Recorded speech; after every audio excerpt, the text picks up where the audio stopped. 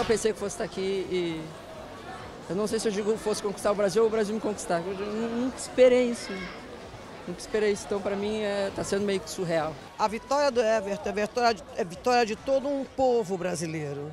Numa gente muito simples, trabalhadora, que não desanima, que não faz das suas, dos seus momentos difíceis um carnaval, que não se vitimiza, porque no dia seguinte tem que levantar e trabalhar e não tem a que recorrer. A vitória do Everton é a vitória desse povo fabuloso desse país chamado Brasil. A magnitude que tem esse programa, essa produção, como ela mexe com o país inteiro. Gente, é uma loucura isso aqui. Onde a gente vai, em qualquer lugar do país, todo mundo estava esperando, multidões nos estádios para tentar uma chance. E quando a gente vê um resultado assim, né? O Everton, tá o Everton que está logo ali, ganhando meio milhão de reais esse título, a gente vê que, cara, isso aqui é de verdade, sabe? Acho que muda a vida das pessoas de verdade espetáculo dessa final, né, Tice? Como, como produção, fantástico. Achei a mais elaborada de todas as edições.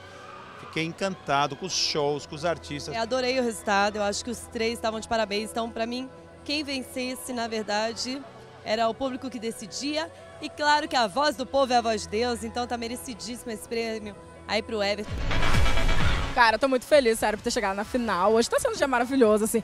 Toda essa emoção da final, ter cantado com a Fafá, todos os shows que a gente viu. Hoje foi um dia perfeito. Eu tô muito feliz, vou muito feliz pra casa. Tô muito feliz com o Everton, pelo Everton, porque ele é meu amigo, assim. E eu sabia, sei lá, eu sabia, ah, pensei, o Everton vai ganhar, né, meu? Entrei pra ganhar.